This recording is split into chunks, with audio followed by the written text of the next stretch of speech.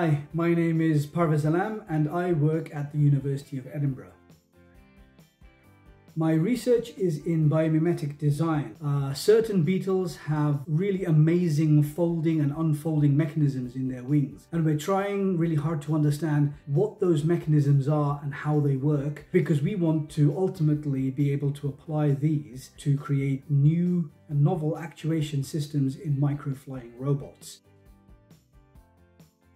um, one exciting example which uh, involved bioprospecting spiders. We found one in East Africa that spins the world's toughest egg case silk. Uh, and it spun an egg case silk that was 30 megajoules per cubic meter, higher than the previous record holder. When it comes to unexpected things, well, tree climbing fish are very unexpected. We found in Indonesia some fish, Periophthalmus variabilis, that actually climb trees. This particular fish species could also hop across the water. So we spent a lot of time characterizing the kinematics uh, and the motive dynamics of this fish uh, hopping across the water, which was something that nobody had ever done before. Uh, that was super exciting and super unexpected.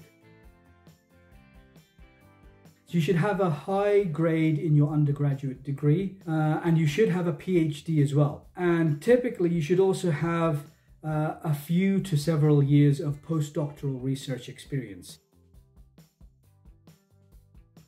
You should end up doing something that you are absolutely passionate about and that you enjoy. So you should make sure that whatever job you're doing is something that you can really enjoy and something that you love.